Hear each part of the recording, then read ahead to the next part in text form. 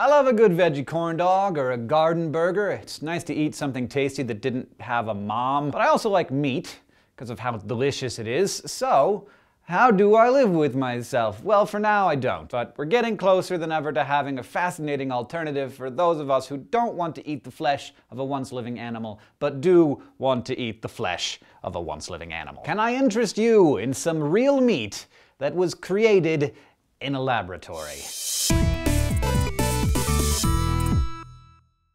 In vitro meat is what I hear it called most often, but that is a horrible name. No one is ever going to buy that. Some alternatives include cultured meat, test tube meat, hydroponic meat, and my personal least favorite, schmeat. And it's for real. In vitro meat has already been produced in very small quantities in several labs, including one in the Netherlands that's grown a piece of cow and pig muscle about 3 centimeters long and 1 centimeter wide. As to the science of this, which is why we're here in the first place, how do you grow meat? Basically, you do it the same way the animals do it. You start with stem cells and then you feed them. Some labs are starting out with embryonic stem cells, others extract specialized stem cells found in animals' muscle tissue called satellite cells cells. Either way, those cells are then cultured in a petri dish full of amino acids and lipids and other nutrients to start the growth process. The cells are then attached to a scaffold of collagen gel that allows them to organize themselves into muscle fibers and then eventually into muscle tissue.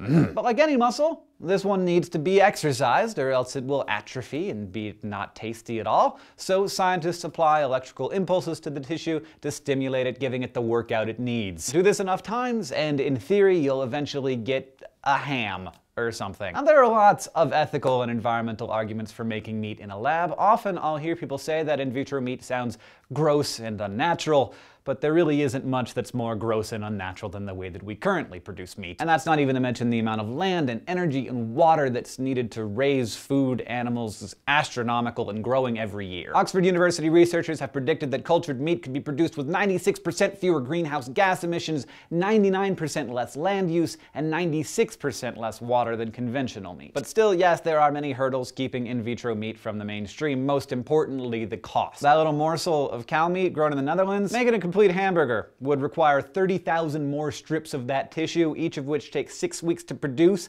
By the time you're ready to fire up the grill, scientists estimate you're looking at a $250,000 burger. As an incentive to make lab meat more cost effective, People for the Ethical Treatment of Animals has offered a $1 million reward to the first scientist to create in vitro chicken that's cheap enough to bring to market. So even though in vitro meat probably won't be part of our daily diets anytime soon, it's still an idea whose time has come. In fact, 80 years ago, Winston Churchill actually predicted that we'd all be eating Kentucky Fried Lab chicken someday. Within 50 years, we shall escape the absurdity of growing a whole chicken in order to eat the breast or wing by growing these parts separately under a suitable medium. Well said, Winston. You may have been a, quite a few decades off, but still a pretty good prediction. So, when lab meat does show up in the grocery stores, what do you think we're gonna call it? Because somehow I don't think Schmeat's gonna fly off the shelves.